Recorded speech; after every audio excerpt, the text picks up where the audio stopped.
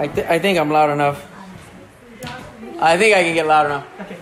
Use, use my use my Marine Corps voice for a few minutes.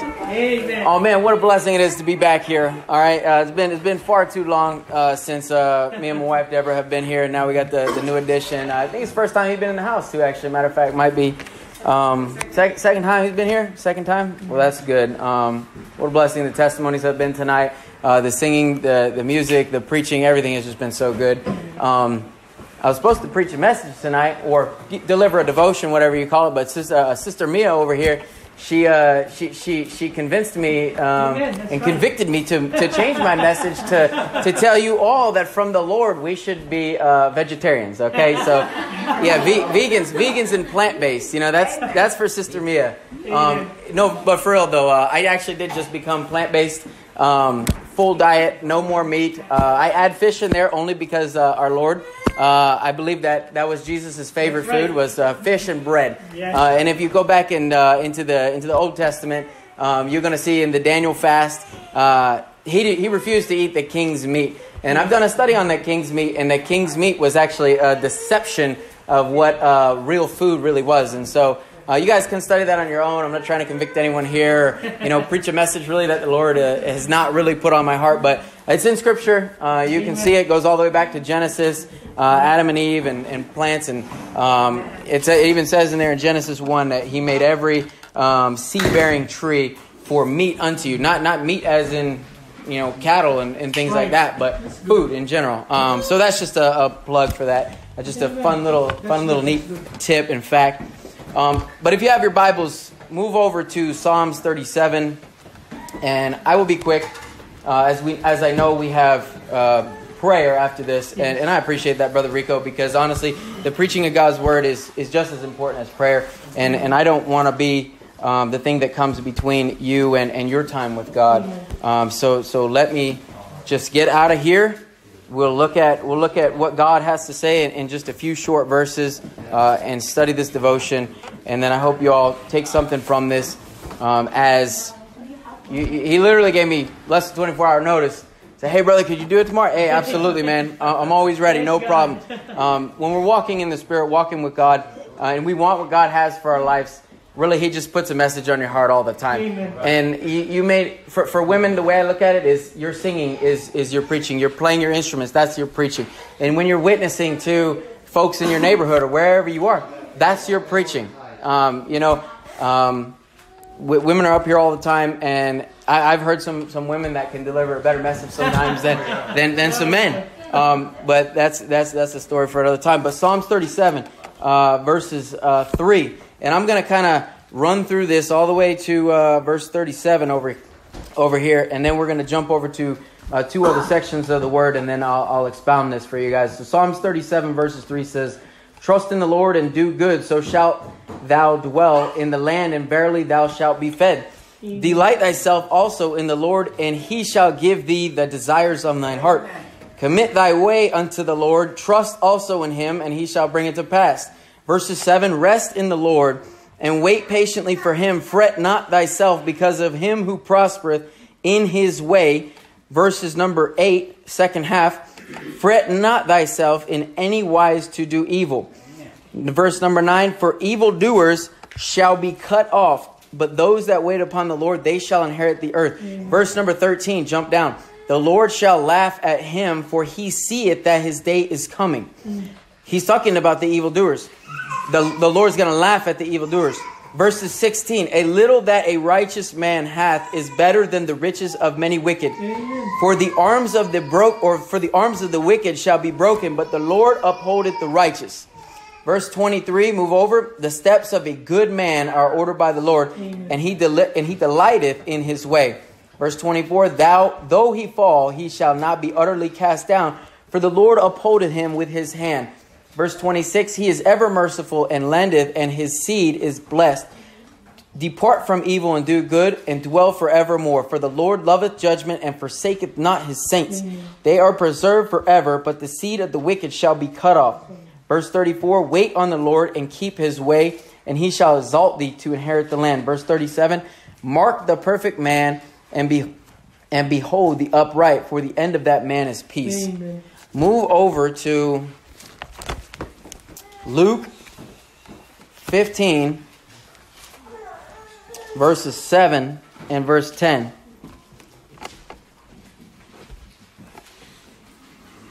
So we have Jesus, or we, excuse me, we have David preaching a psalm, speaking a psalm, singing a psalm. And then we have Jesus here in Luke. And Jesus says in Luke chapter 15, verses 7 and 10, he says, I say unto you that likewise joy shall be in heaven over one sinner that repenteth more than over 99 just persons which need no repentance. Verse 10 Likewise, I say unto you, there is joy in the presence of the angels of God over one sinner that repenteth. Now, the last verse to complete this is from James.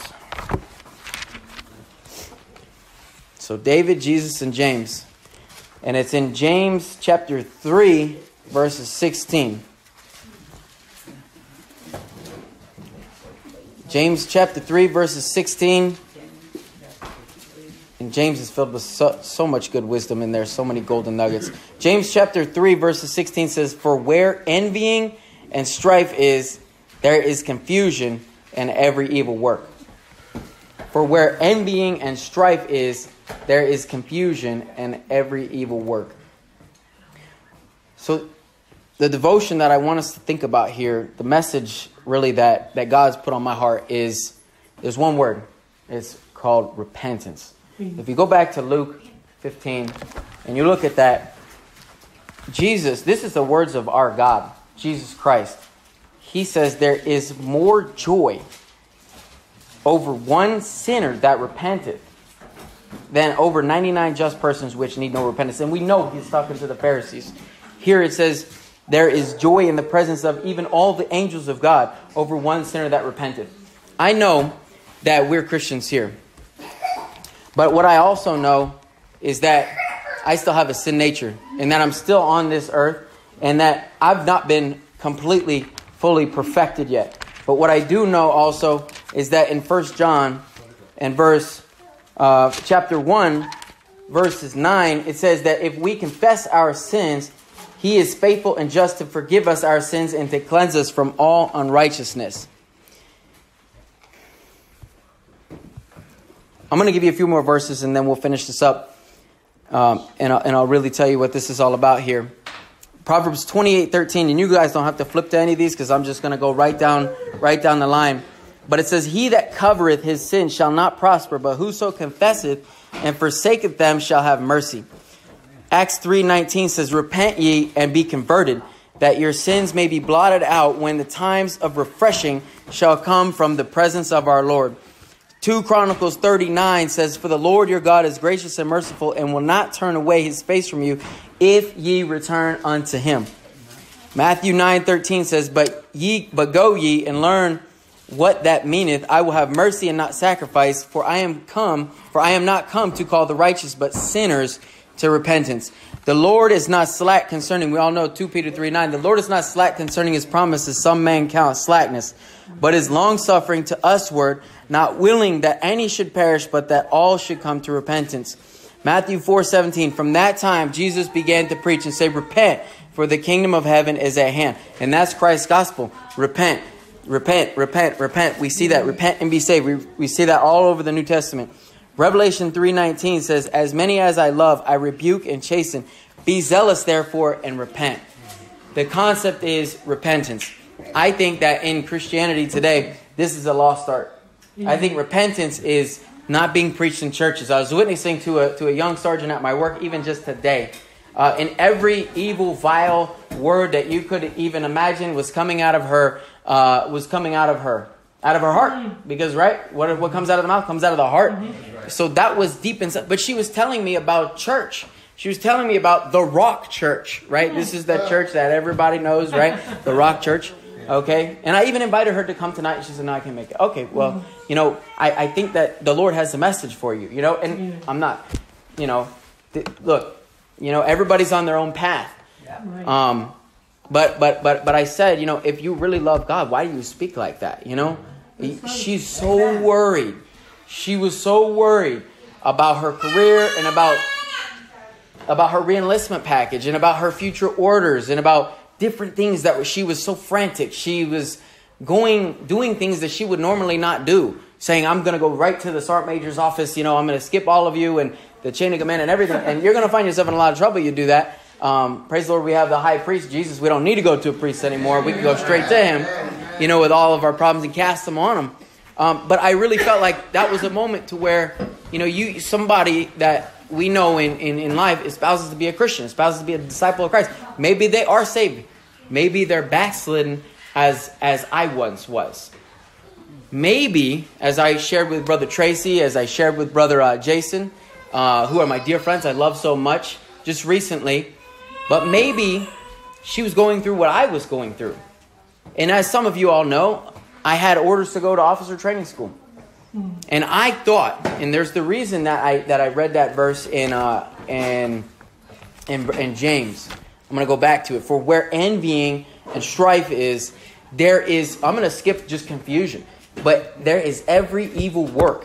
Where envying is, there is every evil work. There's a few other verses in the Gospels that talks about um, why Jesus was put on the cross was because the Pharisees envied him. They envied him, and so me for me, I envied that officer. I envied that rank. I envied that training. I envied the pay. I envied everything. I wanted it. It, it almost consumed me. And it like it's I, I prayed for that. It's like you pray, you, you you you ask the Lord. You say, okay, well, this is the one plus two plus three. Uh, you do you do all the you do all the Christian equation. You say, oh, well, I prayed about it right. I did everything right, but my heart wasn't right. Amen. My heart wasn't right it wasn't where God was directing. It wasn't where God was leading. And for almost three years now, this is even, I have been working on these things since before I was married, since before I had a child. Um, when I had everything to lose and everything to risk. And I just so flippantly cast away the Lord's plan for my life and said, No, I'm, I'm breaking through that wall right there because I'm a Marine and I deserve that and that's what I want and that's what I'm going to get. And I went and got it. And I mm-hmm. went and got it my way. Mm-hmm. But I didn't do it waiting on the, I, sh- I should have waited on the Lord. I didn't wait on the Lord. Didn't do it God's way. I envied that thing of the world that we just sang about in, in, in 2nd John. Mm-hmm. I envied vanity. Why did I need that? God had already given me everything that I had ever needed and wanted. Way more than I deserve. Way more than I need. Way more than I want. I have food, clothing, and shelter. What more do I need? God doesn't even say He's going to provide the shelter for us. He just says He's going to provide food and clothing. Because the Spirit is food and clothing. But I have all that and more. So how much more should I be that much more thankful? So when I, Pastor Fisher preached so many messages, Pastor Cheney put messages, and if I can encourage you tonight, don't put another message of God underneath the carpet. I put the messages under the carpet. They preached a lot of messages. And I was just like, no, that's not for me. No, I'm not, not, no, I don't want to hear that. I did that. I, I'm a sojourner up here. I'm not, I'm, I'm, I, I don't, I don't want to be called a preacher, a pastor, anything. I don't, I don't want that. Um, you, you asked me to, you asked me to just do a devotion, and I appreciate that you called it a devotion because I don't even feel worthy to be up here. But what, but when I, but when I confess that sin, when I confess that sin. And, and praise and praise praise our God for, for our brother in Malawi that we're still praying for Amen. over there, Matt Herbst. What first, yes. Amen. In Malawi, Africa. When but when I had confessed that sin to the Lord, I was confused because I didn't know what my future held, but I knew I was going on faith. I had heard a message on do the right thing, and it was so sound. It was so sound. I had no choice. God had my heart. He had convicted me. He gripped me, he chastened me, he rebuked me, he did all those things that we as Christians we don't want. You know, the, the flesh doesn't want to be chastened. Um, but then as I started telling people, you know, that I, I didn't do the right thing and, and, and I asked for their forgiveness, they would give me verse after verse after verse. One in that the verse in Psalms, right? Going back to David, the steps of a good man are ordered by the Lord, and he delighted in his way. And when I read the rest of Psalms 37, which we just read here, I said, Oh my word. I said, I was the wicked one. I was the evildoer that would have been cut off had I not departed from my evil to do good. The wicked shall be cut off. Wait on the Lord, I would not have been exalted. The Lord was laughing at me. The, the, the little that a righteous man had, has, had, was better than whatever I could have got wickedly from God. Amen. Right. And so I came to, I came to my sense. But then they, they encouraged me with this verse here that it says, there's joy. Because I was so I was so sad. I was so upset. I wanted to, you know, I just wanted to disappear. I was like, wow, like I really have done the Lord wrong. I've done the church mm-hmm. wrong. I told Pastor Cheney, Pastor Fisher, I said, I'm so sorry for everything. I said, whatever you have to do, you kick me out, you discipline me, whatever it is, I'm sorry. Mm-hmm. And I just turned from my way. But that's repentance. Amen. And that's, I think, the art that the, the lost art that the church or the espoused church these mm-hmm. days in Christendom is missing. There's genuine people that say, Oh Lord, forgive me, forgive my sin. Yes.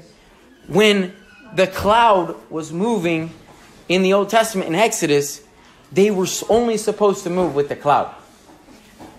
We ought to be very careful in our life about moving when God has not moved the cloud yet. We only move when the cloud moves. I don't know if that lines up with New Testament, if there's some if there's some correlation there, but I take that as a lesson learned. Yes. I know Paul back and forth. Back and forth. There were some places that the Lord, the Holy Spirit allowed him to go, some places they didn't allow him to go. And now, I'll tell you, when I confessed my sin to the Lord, I never had more peace ever in my life. It was the peace that surpasses all understanding. I couldn't even understand it. I had the best sleep in the world ever. Wow. And I just want to encourage you all. Uh, very short message. Um, That's good, brother. In in repentance. Just study repentance. I think um, I, I used to I used to lead people to the Lord. Right? We say that lead people to the Lord, but we don't save them. We just plant. We, we just we just plant and water. That's That's all we do. Um, and I'm very very very hesitant these days um, because I know for a fact, uh, maybe not fact, but I know that I've led some people in a prayer who were not genuine, who didn't repent, uh, who didn't understand what that fully meant, who weren't ready to give it all up for the Lord. He says, If you lose your life for me, you shall find it, you shall gain it. Amen. Amen. I want to lose my life again. Amen. There you go. That's right. That's right. Thanks, Brother Rico.